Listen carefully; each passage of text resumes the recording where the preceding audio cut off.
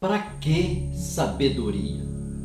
O capítulo 4 de Provérbios nos ensina sobre o propósito da sabedoria para nossas vidas. E essa pergunta é respondida no texto: Para que serve a sabedoria? O capítulo 4 de Provérbios está organizado em quatro partes principais. Primeiramente, do versículo 1 até o versículo 5, nos fala que a sabedoria traz bons conselhos para nossas vidas. E do versículo 6 até o versículo 13, que a sabedoria sempre será útil para nós. Do versículo 14 até o versículo 19, que a sabedoria evita o mal. E do versículo 20 até o versículo 27, que a sabedoria nos protege. Vamos refletir no capítulo 4 de Provérbios sobre o propósito da sabedoria. Primeiramente, do versículo 1 até o versículo 5 de Provérbios, capítulo 4, que nos fala dos bons conselhos da sabedoria e diz assim: Filhos, escutem a instrução do Pai, estejam atentos para que obtenham o entendimento, porque eu lhes dou boa instrução, não abandonem o meu ensino. Quando eu era um menino, em companhia de meu pai, uma criança inexperiente, mas única aos olhos de minha mãe, ele me ensinava e me dizia: que o seu coração retenha as minhas palavras, guarde os meus mandamentos e você viverá. Adquire a sabedoria, adquire o entendimento, não se esqueça, nem se afaste das minhas palavras.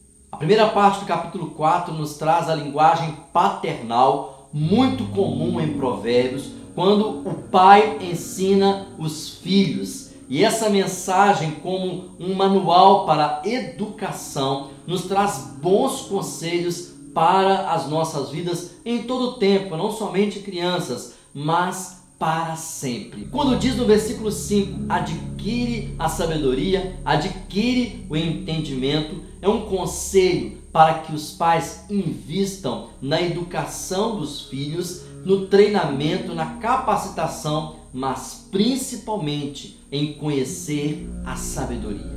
O texto continua falando que a sabedoria sempre será útil. Do versículo 6 ao versículo 13 do capítulo 4, que nos diz assim: Não abandone a sabedoria, e ela guardará você. Ame-a, e ela o protegerá. O princípio da sabedoria é adquire a sabedoria, sim, com tudo que você possui, adquira o entendimento. Valorize a sabedoria e ela o exaltará. Se você a abraçar, ela o honrará. Ela porá um diadema de graça em sua cabeça e lhe entregará uma coroa de glória. Meu filho, escute, aceite as minhas palavras e os anos de sua vida se multiplicarão. Eu ensinei a você o caminho da sabedoria e o fiz andar pelas veredas da retidão. Se você andar por elas, os seus passos não se embaraçarão. Se você correr, não tropeçará. Retenha a instrução e não a deixe. Guarde-a, porque ela é a sua vida. De todas as coisas que podemos desejar em nossas vidas, a mais útil delas é a sabedoria. De nada adiantaria, por exemplo, você ter um objeto que você não sabe como usar. E assim é com a nossa vida. Se não tivermos a sabedoria, não sabemos como viver, não entendemos como funciona a nossa própria existência, as nossas emoções e não entendemos nada ao nosso redor. Mas com a sabedoria você tem discernimento. A sabedoria não se refere ao tempo passado, presente ou futuro, moderno ou antigo. A sabedoria é eterna, ela sempre será útil para cada um de nós. Depois o texto diz que a sabedoria nos ajuda a evitar o mal, em Provérbios 4, do versículo 14 até o 19. Não entre na vereda dos ímpios, nem siga pelo caminho dos maus. Evite esse caminho não passe por ele, desvie-se dele e passe longe. Os maus não dormem se não fizerem o mal, o sono foge deles se não fizerem alguém tropeçar, porque comem o pão da maldade e bebem o vinho das violências, mas a veredas dos justos é como a luz do alvorecer que vai brilhando mais e mais até ser dia claro. O caminho dos ímpios é como a escuridão, nem eles sabem em quem tropeçam. Se você soubesse algo ruim que pode te acontecer, o que você faria? Com certeza tentaria evitar. E a única forma de fazer isso é através da sabedoria. Se você não sabe, você não faz. Mas se você é avisado do perigo, você evita ele. O texto deixa bem claro a diferença de quem segue a luz e quem segue as trevas. O caminho de quem segue a sabedoria é iluminado, é claro, é limpo, e o caminho de quem anda na ignorância é como trevas, onde você não vê nem mesmo onde pisa, onde tropeça ou onde cai. Por fim, o texto ensina que a sabedoria nos protege do mal em Provérbios capítulo 4, versículo 20 até o versículo 27. Meu filho, escute as minhas palavras. Preste atenção aos meus ensinamentos. Não deixe que eles se afastem dos seus olhos. Guarde-os no mais íntimo do seu coração, porque são vida para quem os encontra e saúde para todo o seu corpo.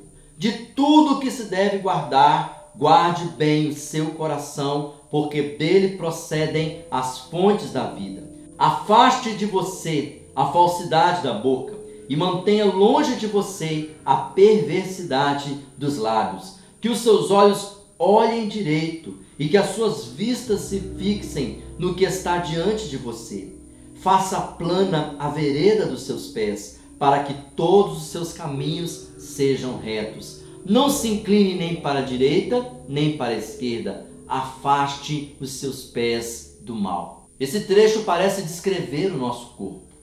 Os olhos, os ouvidos, a boca, as mãos, os pés. Ele fala sobre o olhar, o falar, o ouvir, o tocar, o andar. Ele dá avisos para que nós possamos nos proteger de todo mal. Tudo aquilo que não é de Deus, tudo aquilo que não edifica, o que não é bom, deve ser evitado e a única forma de nos proteger verdadeiramente é através da sabedoria. Com a sabedoria, as nossas palavras são guardadas, os nossos caminhos também são protegidos, todas as nossas ações, o nosso olhar é cuidado, é guardado pela sabedoria. Vivemos um tempo em que a segurança, a proteção é almejada, é buscada por todos devido à insegurança, à violência, os riscos ao nosso redor, mas nada nos protege mais como a sabedoria. O texto principal do capítulo 4 de Provérbios é o versículo 23, que nos diz assim: De tudo o que se deve guardar, guarde bem o seu coração, porque dele procedem as fontes da vida. O coração é um órgão vital, simbolicamente a sede dos nossos sentimentos, das nossas emoções.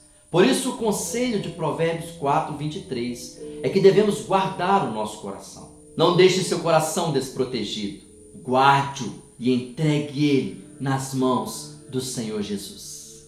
Algumas lições que aprendemos em Provérbios capítulo 4 são os bons conselhos da sabedoria, a utilidade que ela tem para as nossas vidas como ela nos ajuda a evitar o mal e a proteção que a sabedoria traz para cada um de nós. Finalmente, nós podemos entender que a sabedoria não serve apenas para diferenciar pessoas, como se você fosse melhor do que os outros. Ela vem para te ensinar a viver, ela vem para te ajudar, te dando bons conselhos. A sabedoria te ensina a viver de forma útil, te faz evitar o mal. A sabedoria te protege e principalmente guarda o seu coração.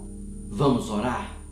Senhor, nós pedimos a Ti que nos dê discernimento para compreender o propósito da sabedoria em nossas vidas. Nos ensina, Pai, a buscar os bons conselhos que vêm de Ti, através do Teu Espírito Santo, através da Tua palavra, através de pessoas ungidas, capacitadas, pessoas sábias. Coloca em nosso caminho homens e mulheres que amem a sabedoria. Nos ensina, Senhor, a buscar aquilo que é útil, que é proveitoso, que edifica a nossa vida, a fugir de todo mal, Senhor, e protege a nossa mente e principalmente o nosso coração e as nossas emoções. Nós te clamamos por sabedoria em nome do Senhor Jesus. Que assim Deus nos conceda a sabedoria a cada dia mais.